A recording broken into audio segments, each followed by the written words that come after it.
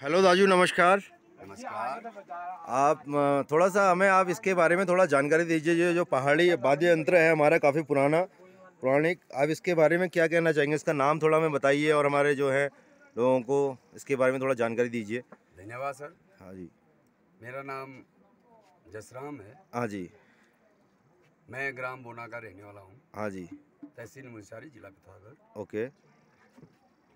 ये कल्चर जो हमारा ये बाजा है हाँ जी।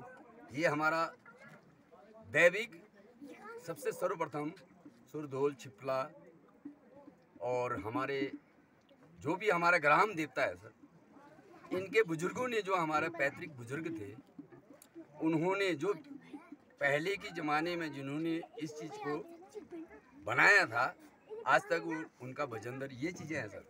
ओके। okay. इसको अभी तक भी हम्म। हमारे इस उत्तराखंड के अंतर्गत ये चीज़ें जो है भगवान के मंदिर में बजाया जाता है उनकी पूजा किया जाता है ये हम लोग जो हमारे पुराने बुज़ुर्ग थे उन लोगों ने रखे थे उसको हमके संभाल के हमें अभी तक ग्राम बोना के अंतर्गत हमने हमारे दैविक भूमि के अंतर्गत इस चीज़ों को हमके संभाल के रखा है। सजो के रखा है हम लोग इस चीज़ों को सिर्फ़ अपने मंदिरों में इस चीज़ को यूज़ करते हैं हैं। सांस्कृतिक अपने सांस्कृतिक परंपरागत कार्यक्रम सांस्कृतिक जो है सर उस चीज़ को इस चीज़ को बजाते हैं और भगवान खुश होते हैं इसमें। ठीक है एक बार थोड़ा सा इसे बजा के आप हम चाहते हैं कि थोड़ा सा आप इसे बजा के दिखा दीजिए हमारे दोस्तों को।